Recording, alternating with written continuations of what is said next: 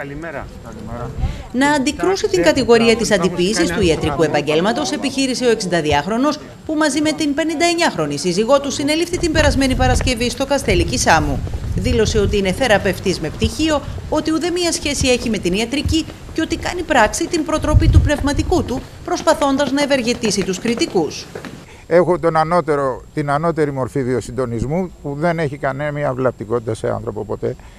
Μόνο καλό μπορεί να δώσει. Εγώ και η σύζυγός μου το κάναμε έργο ζωής, έτσι, αρχίζοντας και υπακούντας το πνευματικό μας για την Κρήτη. Ειδικότερα μόνο και για την Κρήτη και τίποτα άλλο.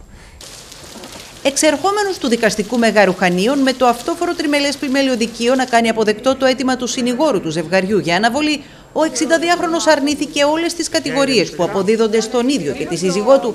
Επανέλαβε ότι στο Καστέλι ήρθε για διακοπές και ότι παρέμεινε λόγω καραντίνας, ενώ ισχυρίστηκε ότι δεν ζήτησε ποτέ χρήματα για τις υπηρεσίες που παρήχε. Αν άνθρωποι βλέπουν στο πρόσωπό μου την εικόνα ενός γιατρού, δεν φταίω εγώ όταν του τονίζω, δεν είμαι γιατρός. Αυτό το σχηματίζουν και ένας με τον άλλο γιατρέ μου και γιατρέ μου. Και τους και τους το επιμένω, δεν είμαι καλά τη γιατρό. Εγώ είμαι ένας θεραπευτής με την έννοια της ε, της ευζοίας του αντι, αντιγύρασης αυτού του πράγματος για να μπορέσει το σώμα να ανανεωθεί ενεργειακά. Δυστυχώς η πρακτική που σε άλλες χώρες της Ευρώπης, δηλαδή στον ευρωπαϊκό πολιτισμένο ε, κόσμο, γίνονται αποδεκτοί και χαίρουν ε, και αναγνώριση και εκτίμησης, καταδιώκονται όπως οι Εχοβάδε από τους Χριστιανούς. Επιπλέον, ο κατηγορούμενος τόνισε ότι δεν απέτρεψε ποτέ κανέναν ασθενή από την τήρηση της φαρμακευτικής αγωγής που τους είχε χορηγήσει ο γιατρός τους και ότι απλά τους συμβούλευε να λαμβάνουν βιταμίνες.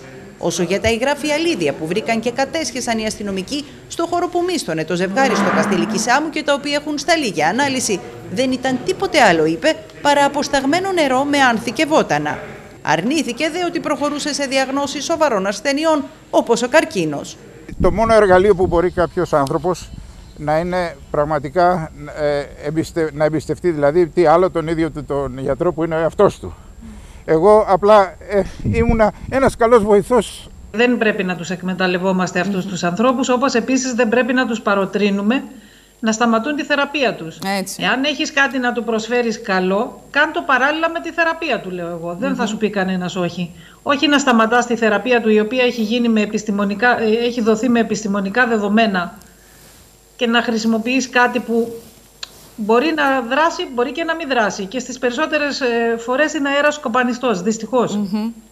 Ο εισαγγελέας έχει διατάξει συμπληρωματική ποινική δίωξη για τη διερεύνηση του αδικήματος της απάτης. Η υπόθεση αναμένεται να εκδικαστεί στις 28 Δεκεμβρίου, καθώς ο συνήγορος υπεράσπισης του ζευγαριού ζήτησε να κληθούν ως μάρτυρες πελάτες των κατηγορουμένων, καθώς και διερμηνέας, μιας και η 59χρονη από την Ελβετία δεν μιλά ελληνικά. Μέχρι τότε τίθεται ο περιορισμός της απαγόρευσης εξυπηρέτησης πελατών καθώς και της μη απομάκρυνσης από τα Χανιά.